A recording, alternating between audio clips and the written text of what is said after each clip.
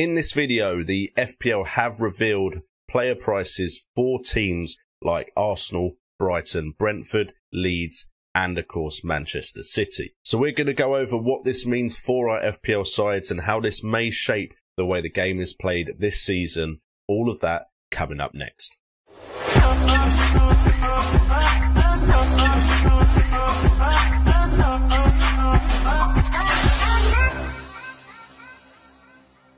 The flock is going on and welcome to FPL today. Thank you for joining me for this video about the player price reveals that were released on Friday. Now there's probably going to be some more released as well and we'll try to cover that here on this channel as well. And we are going to go over all of the players revealed so far from Friday and we're doing it with the help of Fantasy Football Hub's Twitter page who are making a thread where every single player price reveal is put into one place. So go and follow them on Twitter. And also, if you want fixture tickers, Opta stats, and more like articles from some of the best fantasy football managers in the game, make sure to check out Fantasy Football Hub with the link in the description down below. It's where I get most of my stats and fixture tickers from. So make sure to check them out. And let's get into Arsenal first. And stay tuned to the end of the video for Manchester City. Or if you want, fast forward to the end if you only care about these two clubs. However, Arsenal, we've got the player price reveals, and as we can see, Arsenal look like they could offer us some great value. Last season, they almost got a Champions League place, and if they continue to improve on last season's performance, we could see some great budget players from this side, who of course are going to be top half of the table, at least you'd imagine so, and challenging for that Champions League place and European places. Ramsdale in goal at 5 million to start off with, that seems underpriced to me because Arsenal are definitely capable of clean sheets ever since they improved their defence last season. Speaking of defence, Tomiyasu and Ben White at 4.5 million look great value, and Tierney, if he is fit, is very capable of attacking returns at 5 million as well. So some great budget options in goalkeeper and defence. And it continues on into the midfield with the likes of Smith Rowe and Martinelli at 6 million apiece. If either of them look like they're nailed on, that's an absolute bargain in my eyes. And Odegaard at 6.5 million isn't much worse. I think Odegaard will be a main player in the side, and 6.5 million for a player that's going to play most of Arsenal's games, I imagine, is a fantastic price. Saka at 8 million might be a little bit too much, but his form from last season does justify this. And if he does continue to grow as a player, I do actually believe Saka could be worth that 8 million price tag too.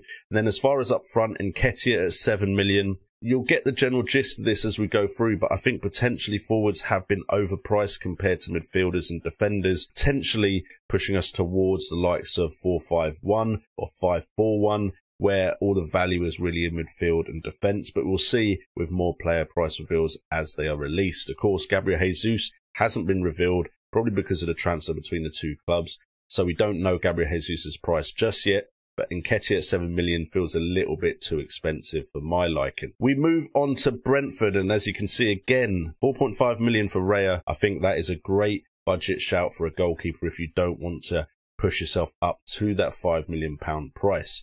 We've also got defenders here at 4.5 million as well. The likes of Henry, Pinnock, Janssen, all potential options to put into your defence if you're not going for Raya and you need a bench player who is likely to be a starter and can come off the bench if someone you have in your starting 11 isn't playing. As far as it goes for midfield, I personally wouldn't know which midfielder to go for 100%, but Wissa did have a great end to his season. So at 5.5 million, Wissa could be a decent shout as well.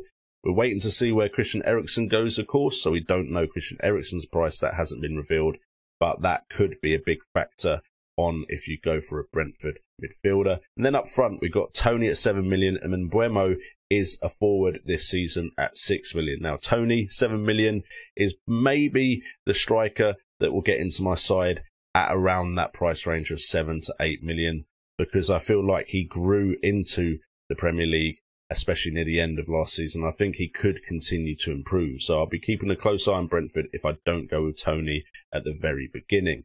So I think some fair prices there, but I'm not too sure about their midfield, but it does offer some value with those 5.5 million price tags. We move on to Brighton, and again, Sanchez, 4.5 million. That's potential there for Sanchez and Brentford's keeper Raya to be your two starting goalkeepers. You may not get perfect rotation, but those are two good value goalkeepers, only seeing you spend £9 million on your goalkeepers, giving you 91 million to spend on the rest of your side.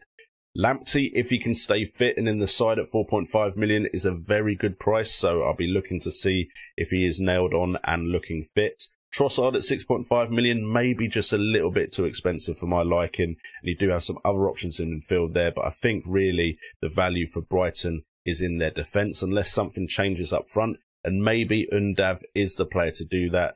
I have unfortunately overlooked Undav because he did join Brighton in the January transfer window, so wasn't put into some of the videos I've done about forwards and new players to the league. But Undav, if he does hit the ground running, could change things for Brighton, and Undav would be one I'd be interested in if he shows any form at 5.5 million because I'm going to probably be looking for value up front, and maybe Undav could be that player. We move on to Leeds United and Meslier, 4.5 million as well. And of course, Jesse Marsch has improved that Leeds defence. But FPL, you've ruined it for me. I was so looking forward to Rasmus Kristensen in my side.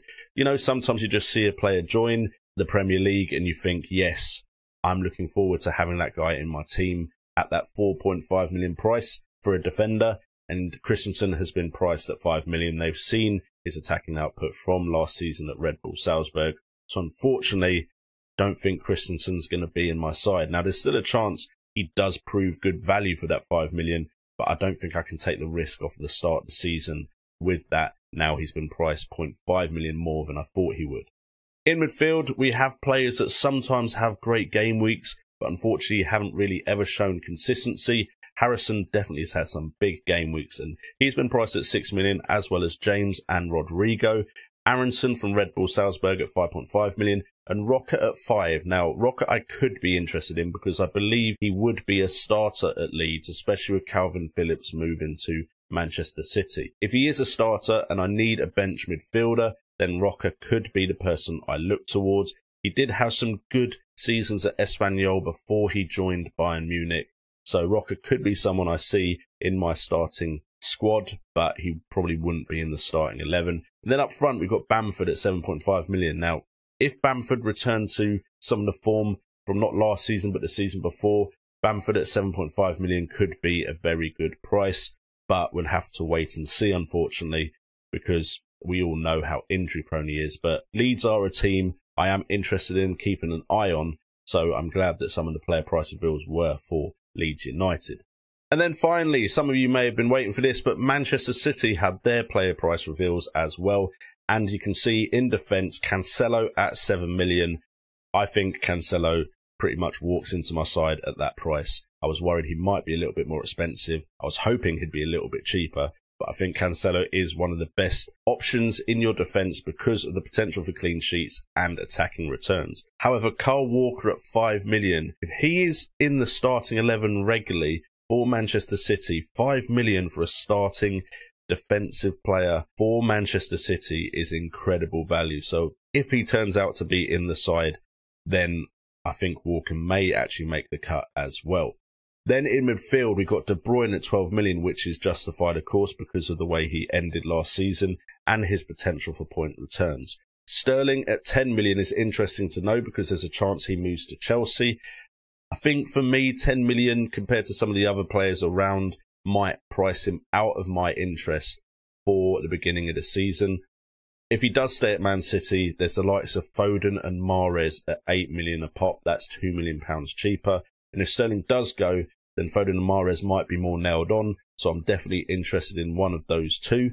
You've got Gundogan at 7.5 million, surprisingly above Bernardo at 7 million. Again, Bernardo has the potential to leave Man City this season, and Grealish at 7 million as well. If Grealish hits the ground running, because sometimes players take time to adjust to Pep's style at Manchester City, but Grealish could be underpriced at 7 million if he does find his feet in his second season in Manchester.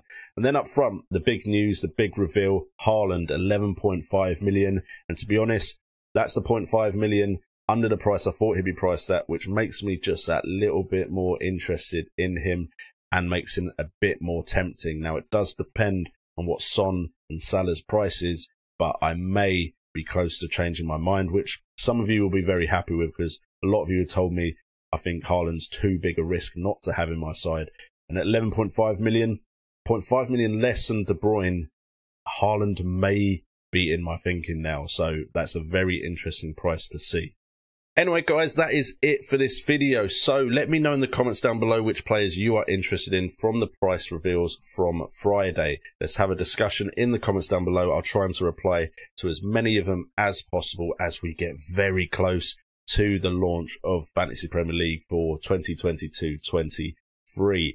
I'm excited. I hope you are too. If you want to stay up to date, make sure to hit that subscribe button. Also hit that like button to support the channel And if you really want to know when my videos go live, that notification bell will send a notification to you when my videos drop. With all that being said, I've been JNO. This has been FPL today. And remember, it's all about the game.